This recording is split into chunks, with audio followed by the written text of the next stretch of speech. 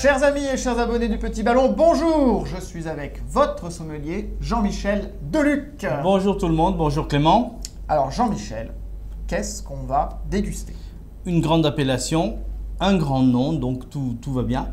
En fait, c'est le Château Henri Bonneau, donc je suis très content parce que ça fait longtemps que je voulais faire déguster un vin de palette, c'est l'appellation palette, mais c'est une toute petite appellation, les vins sont plutôt rares et persuader les trois propriétaires qui se trouvent sur cette appellation de nous offrir, de nous donner quelques bouteilles, c'est excessivement dur. Ah. Mais merci beaucoup à- au Château Henri Bonneau de nous avoir donné cette opportunité de déguster ces magnifiques vins rouges issus de Grenache, de Mourvèdre et de Vieux Carignan. Ah, très bien. Bon alors, palette, c'est une toute petite appellation. Nous, on a l'habitude de manipuler les palettes à la logistique au Petit Ballon. Oui, Mais bah, rassurez-moi, il n'est pas fait en bois de palette. non, il n'est pas fait en bois de palette, il est bien fait en vigne et il est au pied de la montagne Sainte-Victoire, très cher à Cézanne. Oui, le peintre, Voilà. ceux qui ne le Qui, connaissent pas. qui a dû, à mon avis, déguster un peu de palette à son époque.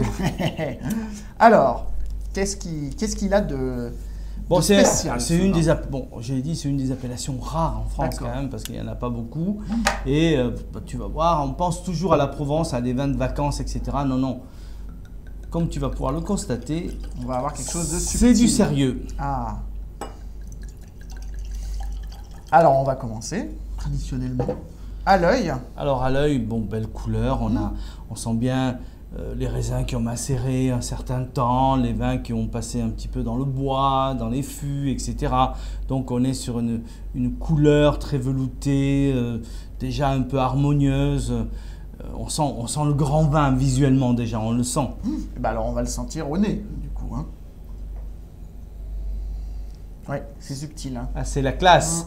Et donc, on a, on a ces notes, moi j'adore ces notes d'encre fraîche, euh, d'encens, de poivre, de, d'épices, des fruits très mûrs, des fruits à noyaux, cerises, prunes.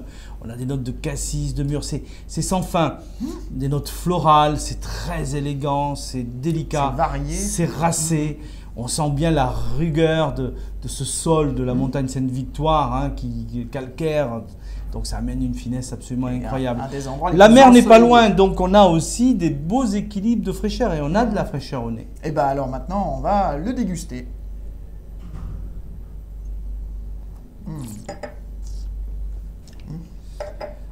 C'est presque, c'est presque sans commentaire. Le commentaire, il Oui. est dans le verre. Mais on va devoir le faire. Oui, on va le faire quand même. Mais c'est velouté, c'est subtil, c'est Oui. suave, c'est légèrement poivré sur la langue. Ça te, presque un côté piment d'Espelette en, en finale, floral. On retrouve tout ce qu'on avait au nez, on le retrouve en bouche. Et puis ça, ça dure, ça dure, ça dure. Qu'il y a une Ça, longueur incroyable. Voilà, ça c'est un vin indispensable dans sa cave. Alors justement, ben, on va l'avoir dans sa cave, mais on va, le- on va le servir à quelle occasion? Alors, euh, une belle. euh, alors, on peut le, si on le boit jeune comme ça, on peut évidemment le passer en carafe comme un grand cru. hein. Il, le- il le mérite largement, une heure. Le servir à 16, 17, pas froid. Hein, c'est- pensez pas à vin de vacances. C'est un vrai vin, un grand vin, je veux dire. Euh, donc, 16, 17, c'est très bien.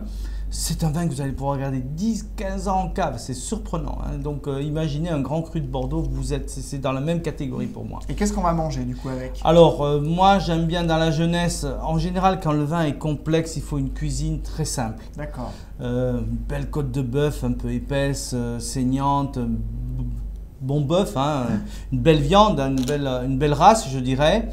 Euh, on peut aller également euh, sur du porc noir, moi j'aime bien aussi, sur un beau gigot, un gigot de 7 heures, alors là c'est le pied.